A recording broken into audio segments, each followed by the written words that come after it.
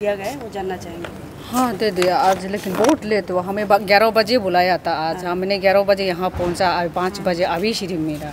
बहुत वेटिंग करवाया जैसे टेनिस कोर्ट में सेवन डेज़ वेटिंग करवाया आज यहाँ पे छः घंटा वेटिंग करवाया। तो मिल तो गया। आप पेपर थोड़ा सा दिखा पाएँगे या फिर थोड़ा सा रीड आउट कर पाएँगे? हाँ रीड आउट तो हम नहीं कर कर पाऊँगे क्योंकि कर सकता है लेकिन हमारे पास इतना एनर्जी नहीं है। अभी बहुत थक चुका है लेकिन हम पेपर दिखा सकते हैं। पेपर आप लोगों को भी मिल जाना चाहिए। हमने रिक्वेस्ट किया मीडिया वाला को भी कॉपी देने की कितना पेजेस का है आप बता पाएँगे? लगभग थ्री पेजेस है क्या? Pages है। टू पेजेस होगा और कल भी जब हमने उनसे भी सवाल रखा था आपसे भी रखा था जो चर्चा जो रेस्क्यू ऑपरेशन का फिर से स्टार्ट या कुछ का चर्चा तो आज कुछ मेंशन किया है उन्होंने? हाँ नंबर डाउन प्रायोरिटी उसमें होगा रेस्क्यू ऑपरेशन का होगा। हमें जैसे भी है मिल ढूंढना है जिन जो भी अगर ज़िंदा है भी तो ढूंढना है।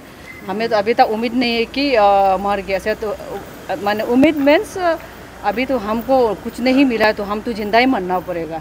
लेकिन ज़िंदा हो या मरदा हो ढूंढना है सीज़न पर ढूंढना है। तो आप लोगों ने कुछ ऐसा टाइम फिक्स नहीं किया ना? Time means time in the sense इसमें ऐसा होता है माउंटेनरिंग का एक सीज़न होता है और नेशनल या इंटरनेशनली लेवल में एक सीज़न होता है थर्टी सितंबर तक डेडलाइन हो जाता है। इसके बीच में हमने जैसे टपी मारा जी जैसे जो एक्सपीडिशन स्टार्ट होता है टाइम उस हिसाब से टाइम हम मेंशन करके हम लोग फैमिली मेंबर कोऑर्डिनेट करके हम लोग ने तय किया जाएगा कि कब स्टार्ट करना है। मौसम को देखते हुए। और- ग्यारह बजे का समय दिया था लेट होने का कारण क्या हुआ? आपने पूछा। हाँ लेट होने के कारण ऐसा था कि आगे में जो पेपर रेडी करके रखा था, इसमें कुछ कुछ पॉइंट ऑथेंटिकल नहीं था। हमारा डिमांड जो, मैंने थोड़ा सा इधर उधर हो गया था, इसलिए हमने दो, तीन बार प्रिंट करवाया। हाँ और उसको हम अपना हिसाब भी बताएगा कि उन्होंने हमने दो बार प्रिंट करवाया। इसके बाद साइन करने में लगा हुआ, पता नहीं जेरोक्स करने में लगा हुआ होगा। लेकिन पाँच बजे अभी सिर्फ़ मिला।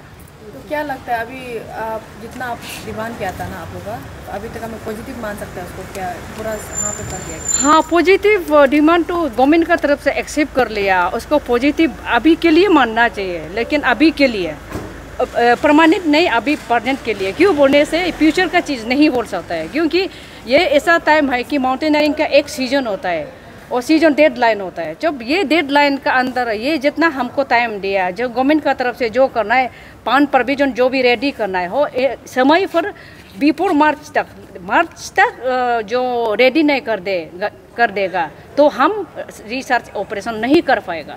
अगर ये मार्च तक रेडी कर देता, ये फाइनेंशियल ईयर ख़त्म होने तक मार्च तक जितना है हमारा डिमांड रेडी कर देता है तो हम सर्च ऑपरेशन सेटिस्फाइड कर पाएगा और क्लू मिलना नहीं मिलना, पीछे का बात है। लेकिन मार्च तक रेडी कर कर देना पड़ेगा।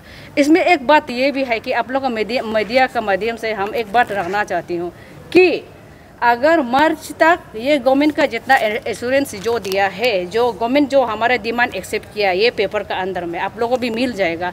जब मार्च तक रेडी नहीं कर देता है तो कंसर्न डिपार्टमेंट जितना जो बिहार करने के लिए पान जो एक्सपेंडिचर जो बिहार कर, करने वाला वो अगर मार्च तक नहीं कर देगा रेडी नहीं कर देगा तो वो डायरेक्टर का ऊपर माना जाएगा। क्योंकि कंसर्न डायरेक्टर यूथ अफेयर्स का ये पूरा ज़िम्मेदारी में है डिपार्टमेंट का ज़िम्मेदारी में अभी लिया गया है सब कुछ रिसर्च ऑपरेशन पूरा डिपार्टमेंट ने ज़िम्मेदारी ले लिया है तो नेक्स्ट साल का मार्च तक हमको रेडी कर, देना पड़ेगा। अगर मार्च में ये नहीं बोलना है कि अभी तक गवर्नमेंट से पैसा नहीं आया दुनिया के लिए, ये नहीं बोलना है। हम इंटरनेशनल माउंटेनरिंग हमको हायर करना है, जैसे कि नेपाल या कहीं से भी एक्सपर्ट हायर करना है, ताकि सोरेंग का नेटवर्क में हमने सर्च ऑपरेशन शुरू करवाना है। तो ये सब का रेडी जितना रेडी मैनेजमेंट रेडी मार्च तक कर देना पड़ेगा। अगर मार्च तक नहीं होगा तो हमारा सर्च ऑपरेशन आज का लास्ट ईयर का अभी जो लास्ट गया ऐसे होगा। तो मार्च तक आप लोग भी वेट करेगा टिल बीच में आप लोग कुछ अपना तरफ़ से ऐसे ऑपरेशन का इनिशिएट नहीं लेगा तब तक रुकिएगा ना? हाँ अभी अभी मन बीच में इनिशिएट लेने नहीं लेने लेने के कारण है क्योंकि अभी बर्फ़ पूरा बढ़ चुका है।